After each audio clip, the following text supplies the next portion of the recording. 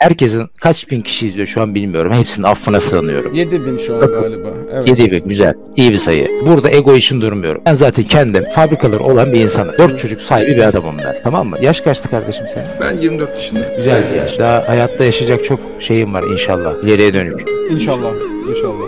İşte İsrailli bir çocuk doğduğu zaman Filistin'e otomatikman düşman doğuyor. Anlatabiliyor muyum? Yani nadirdir. Yani bu İslam'da da böyle. İs- Adam Hristiyan, dünyaya Hristiyan geliyor ama İslam'a düşman. Yani açıp İslam'ı okumamış bile. Ama düşman gibi. E biz. Türk'üz abi. Yok Biz başka bir Türk'üz. şeye geliyorum. Eyvallah. Eyvallah hepimiz elhamdülillah Türk'üz de. Bir sürü pırlanta gibi çocuklar var. Hacca giden çocuklar var. Onlara da haksızlık etmiş oluruz. Aynı şekilde Turkaz'ın da Abi böyle şimdi hacca değerlerine- de pırlanta olunmuyor ya. beni herkes tanır. Tanıyan da bilir. Abi Bu bir. tanıyan herkes zaten arkamdan kötü konuşuyor. Ben de sana Evet. dedim ki sen bu olayı anlattığında. işte ben de yayın yaptım. Nerede bunlar? Konuşurum da e, karşımdaki çok kıvırıyor. Biraz önceden beri devam ediyor farkındaysanız. Bunu bir düzeltirsen eğer Tamam. Fevzi benim fabrikamda seni güvenlikten içeri almazlar. Anladın mı kardeşim? Sen önce kimle konuştuğunu bileceksin. Abi Ben bunu fabrikada Türkiye ne diyorsun abi sen? Sen Anlatabiliyor muyum? Abi fabrikanın Çünkü- bana. Çünkü şöyle söyleyeyim. Ben senin fabrikana gelmem ki. Hiç kimsenin kişiliğine bak kişilik bak. Oyun Abi var bir dakika yalnız şeyi sorma. Abi patron. Abi. Yap. Abi. Cahreyn